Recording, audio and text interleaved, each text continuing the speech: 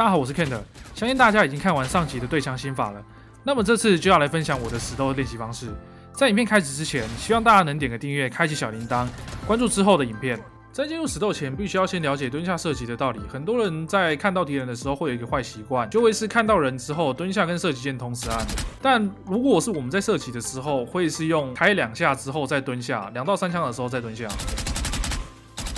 差异性就会在于，你要知道的是，蹲下是炮枪的补救方案。就是假设我今天在这个转角遇到敌人的时候，炮枪了之后，我赶快按蹲下来，看有没有机会用修正弹道的方式再把它及时补掉。好处就会在于是，假设我今天拉出来的时候，我两发就把对方带走了，其实我不用蹲下来，这个蹲是不用的。那我可以规避掉一个问题，就是对方第二个二号位想要拉出来补枪的时候，会直接把我补掉。但如果我今天不蹲下来，拉出来的时候，急杀马上再换一个位置。或是击杀完之后可以再离开这个位置，所以蹲下是大家必须要去掌握好的一个习惯。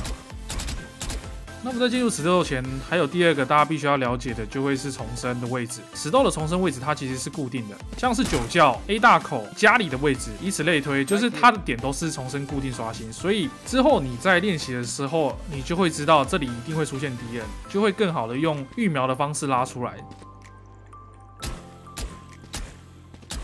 那么在讲完前面两个原理之后，就要开始真正的主题：死斗要怎么训练提升自己。首先，第一个育苗就会讲到重生原理，在转角的时候，用育苗的方式架住对方重生的位置，再用大身位、小身位的探头者优势拉出来，精准定位，尽可能的是不要让自己蹲下来，反而是拉出来就是要给对方一发。这个东西就会训练到，当对方在预非预设位的时候，假设他可能在这个位置，那你拉出来的时候，你有没有办法精准定位给对方一发？因为这个一样，之前的影片有提到过，探头者优势就是你会有机会开到第一枪，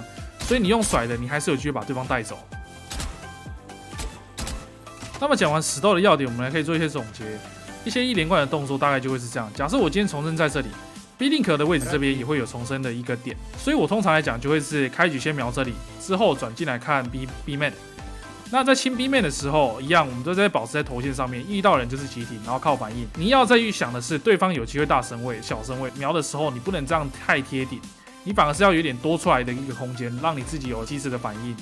那来到 B 面转角的时候，一样也是用预瞄的方式去叫来看对方有没有机会出现的点。来到 B 面口之后，一样看 Marky 的头线上面，这也是我们刚才前面有讲的，是头线还是很重要。所以死斗就是要来专门练你这个头线到底是不是有办法精准定位。遇到人如果在这里瞬间甩枪，也是前面有讲的，那看 CT 两个位置、楼梯以及这个坎，因为大家有可能会是站这个上面刚跳上来的人，所以。你在瞄的时候也要高一点。那遇到这边是站平行的人，你也要想办法靠甩枪去打这边。好，那如果 B 面这边顺利清完之后，我可能会再回去。回去的时候一样，就是保持在头线上面，遇到人就是停下来，因为这个地方有重生点，这个地方也有重生点，所以拉出来的时候，你必须要知道这个地形有一个阶梯，所以拉出来在阶梯上面，然后头线保持好。一样，这里阶梯保持好，头线拉出来，做一个完整的清点。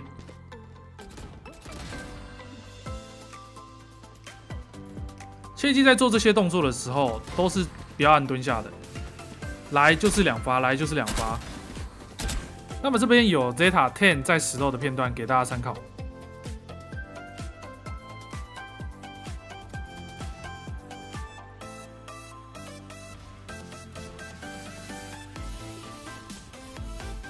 那么这次的教学影片就到这边，如果想要看别的教学影片，也可以在下面留言。